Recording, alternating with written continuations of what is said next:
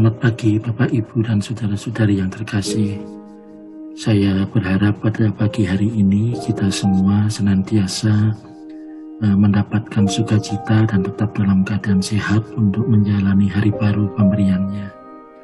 Nah, seperti biasa sebelum kita mulai aktivitas kita di pagi hari ini, saya akan mengajak uh, Bapak Ibu dan saudara-saudari untuk sejenak uh, hening merefleksikan firman Tuhan yang menjadi dasar bagi kehidupan kita. Sebelum kita bersama-sama membaca dan juga merefleksikan firman Tuhan, mari kita berdoa terlebih dahulu.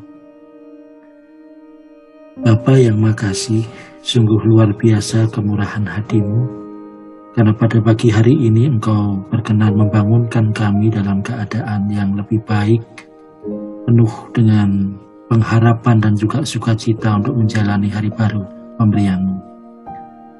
Di tengah-tengah kami akan memulai aktivitas kami di hari ini. Kami bersyukur karena Engkau masih memberikan waktu bagi kami untuk sejenak merenungkan firman-Mu, merefleksikan sabdamu untuk menjadi kekuatan dan juga pelita di dalam kami melangkah dan beraktivitas pada hari ini. Berfirmanlah Tuhan, karena kami umatmu siap untuk mendengarkan. Terima kasih ya Tuhan. Amin. Bapak, Ibu, dan saudara-saudara yang terkasih, secara khusus pada pagi hari ini, saya akan uh, mengajak Bapak, Ibu, dan saudara-saudari untuk uh, merefleksikan sebagian kecil dari kesaksian uh, kitab perjanjian lama, khususnya dari kitab ulangan pasal 31, yang secara khusus saya akan membacakan pada ayat yang ke-6 saja. Ulangan 31 ayat yang ke-6. Demikian kesaksiannya. Kuatkanlah dan teguhkanlah hatimu. Janganlah takut dan jangan gemetar karena mereka. Sebab Tuhan Allahmu, dialah yang berjalan menyertai engkau. Allah tidak akan membiarkan engkau dan tidak akan meninggalkan engkau. Demikian Bapak Ibu dan saudara-saudara yang terkasih, satu ayat dari kitab ulangan 31 yang akan kita refleksikan bersama. Kiranya kita senantiasa disebut berbahagia karena kita senantiasa setia dan juga memiliki komitmen untuk menjadi saksi-saksi hidup pelaku-pelaku firman-Nya. Amin. Akhir-akhir ini Eh, kita tidak lepas dari berita yang terkait dengan banjir di Semarang, di Pantura, dan terakhir di daerah Jakarta, Bekasi, Depok. Eh, saudara-saudari kita di sana harus mengungsi karena mereka mengalami eh, banjir yang luar biasa yang bahkan dikatakan lebih parah daripada tahun-tahun sebelumnya. Menyaksikan berita-berita di televisi terkait dengan bencana banjir, saya pribadi merasa uh, prihatin, tapi juga sekaligus uh, speechless ya, begitu tidak bisa berkomentar apa-apa karena ternyata kita masih harus berjumpa uh, dengan uh, berbagai bencana dan juga keprihatinan yang membuat situasi hidup kita semakin berat. Pandemi belum berakhir, tapi kemudian bencana alam, banjir, eh, kita kembali menyaksikan keluarga-keluarga kehilangan saudara-saudara yang terkasih, harta benda, dan seterusnya. Kadang eh, kita berpikir bahwa eh, kenapa semua ini terjadi? Apakah belum cukup penderitaan, kesusahan yang dialami oleh kita sehingga kemudian masih harus berhadapan dengan situasi-situasi sulit lainnya. Bahkan uh, sampai saat ini atau hari ini masih diprediksikan hujan lebat yang ekstrim akan turun dan ini tentu membuat eh, mereka-mereka uh, yang berada di daerah banjir itu tidak, tidak tenang.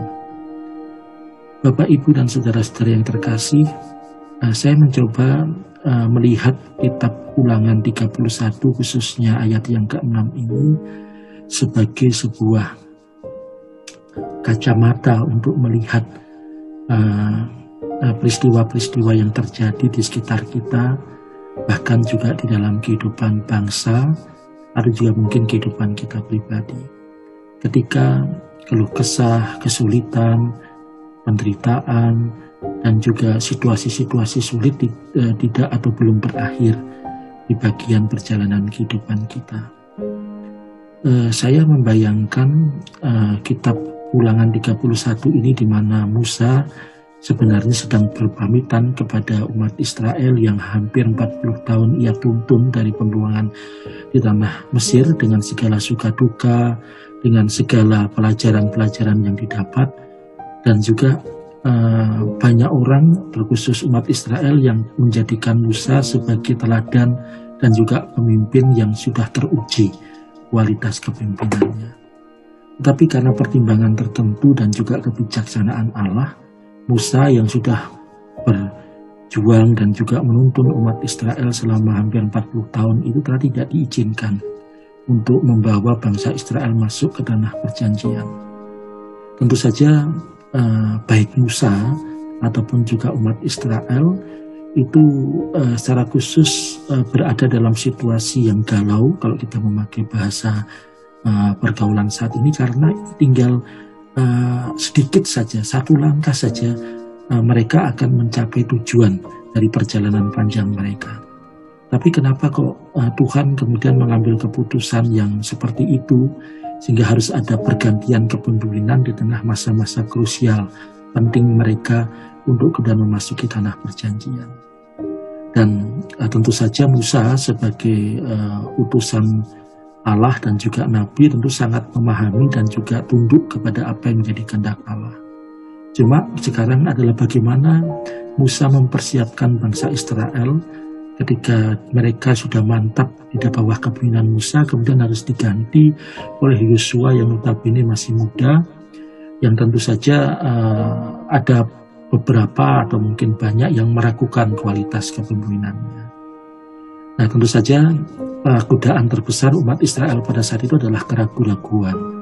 Bahkan juga ada yang pesimis bahwa ah tinggal satu langkah lagi tapi berganti kepemimpinan dan pemimpinannya ini mungkin masih belum berpengalaman. Apakah mungkin uh, kita sampai kepada tanah perjanjian dan seterusnya. Tentu saja Musa sangat mengetahui pergulatan batin bangsa Israel itu Bahkan juga Allah tentu maha tahu dan tahu persis bagaimana situasi batin umat Israel pada saat itu.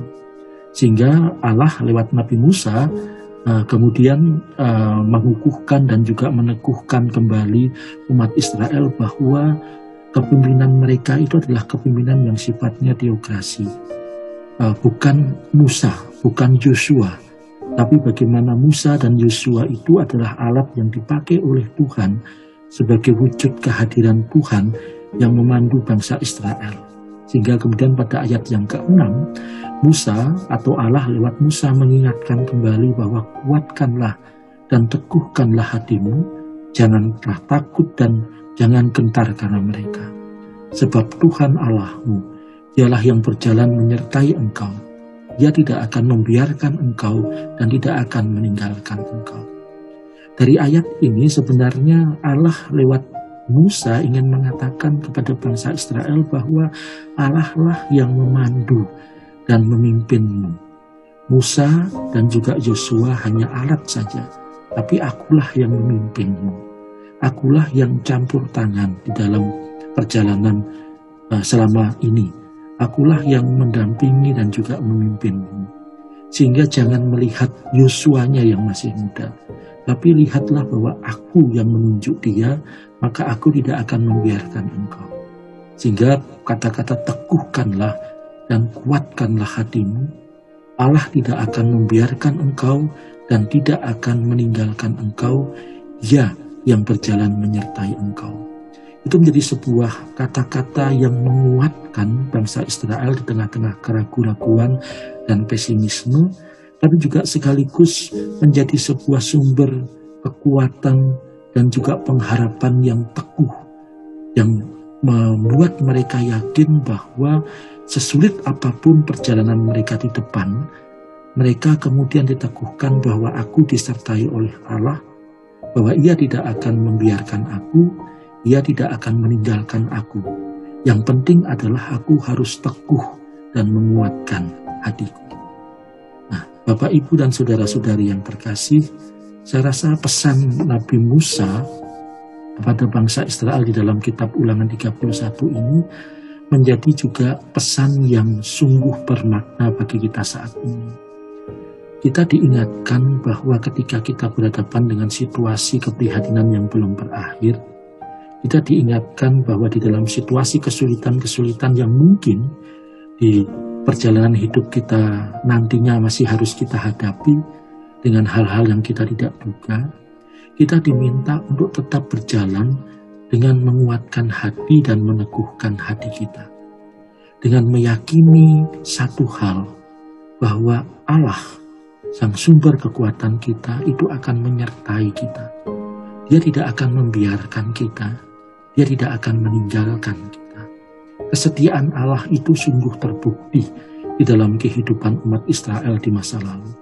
Dan saya rasa kekuatan dan kesetiaan Allah itu juga sebenarnya bisa kita imani dan juga telah kita buktikan di dalam perjalanan kehidupan kita yang lalu-lalu. Di mana kita tetap merasakan bahwa Allah tidak pernah meninggalkan kita. Allah tidak pernah membiarkan kita, tapi Allah tetap menyertai kita.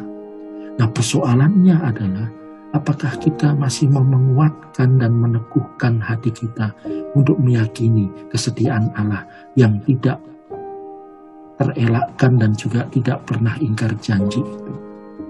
Seringkali keteguhan hati kita, kekuatan hati kita dikalahkan oleh keraguan-raguan, pesimisme, dan juga ketakutan kita. Tapi di sini kita belajar bahwa kuatkanlah teguhkanlah hati kita. Karena apa? Karena sebenarnya di dalam perjalanan kehidupan yang telah kita lewati, di dalam perjalanan hidup kita saat ini, dan di dalam perjalanan hidup kita di masa yang akan datang, Allah tetap menyertai dan tidak pernah meninggalkan dan membiarkan kita. Kita adalah orang-orang yang beruntung karena Allah setia menyertai kita. Oleh karena itu, sebagai orang-orang yang beruntung, maka sudah barang tentu kita pun dipanggil untuk juga menguatkan dan meneguhkan hati saudara-saudara kita yang mungkin pada saat ini berbeban berat karena situasi hidup, karena kecemasan dan karena kekhawatiran. Kita diminta untuk tidak hanya mendapatkan pengharapan, tapi kita juga bisa menjadi pelita-pelita pengharapan yang menyalurkan pengharapan, penyertaan, dan juga kesetiaan Allah itu kepada sesama kita. Itu panggilan kita. Oleh karena itu, biarlah kita tetap meneguhkan dan menguatkan hati kita. Sekaligus kita meneguhkan dan menguatkan anggota keluarga kita, meneguhkan dan menguatkan anggota jemaat dan gereja kita, menguatkan dan meneguhkan sesama kita, bahwa kesulitan-kesulitan yang kita hadapi ini sebenarnya kita tidak sendirian menghadapinya. Allah setia menyertai dan Allah memakai kita untuk saling menguatkan sebagai keluarga, sebagai jemaat, dan sebagai sesama manusia. Kiranya Tuhan memberkati, memampukan, dan senantiasa memakai kita untuk menjadi alatnya. Tuhan memberkati kita. Amin. Mari kita berdoa. Bapak yang baik, kami turut menyatu dengan keprihatinan yang sedang melanda saudara-saudari kami yang pada saat ini harus mengungsi karena menjadi korban banjir. Kami menyatu dengan keprihatinan saudara-saudari kami yang pada saat ini harus kehilangan anggota keluarganya karena menjadi korban dari COVID-19, korban bencana banjir, bencana alam, dan juga bencana lainnya. Tapi biarlah kami juga meyakinkan diri kami dan juga mendoakan mereka untuk juga meyakini hal yang sama. Bahwa saat ini engkau setia menyertai kami semua, tidak membiarkan kami dan tidak meninggalkan kami. Jika dengan demikian kami diajak untuk senantiasa meneguhkan dan menguatkan hati kami sebagai modal kami untuk tetap move on, memiliki pengharapan dan rasa optimis bersama dengan engkau yang berjalan dan juga gendong kami. Dengan demikian, Kami menjadi orang-orang yang berpengharapan di dalam menjalani kehidupan yang tidak berpengharapan. Kami bisa menjadi orang-orang yang menjadi pembawa nyala lilin di tengah-tengah kegelapan karena situasi keprihatinan yang sangat mendalam. Kami menyerahkan kehidupan kami selanjutnya ke dalam tangan pengasihanmu Tuhan. Biarlah lewat roh kudusmu kami senantiasa dimampukan untuk menguatkan dan meneguhkan hati kami sehingga kami tetap dapat merasakan penyertaanmu yang tidak pernah meninggalkan dan membiarkan kami. Terima kasih ya Tuhan, di dalam nama Tuhan kami yang hidup Yesus Kristus kami telah berdoa. Amin. Ya, demikian Bapak, Ibu, dan Saudara-saudari yang terkasih, selamat beraktivitas untuk hari ini. Tuhan memberkati.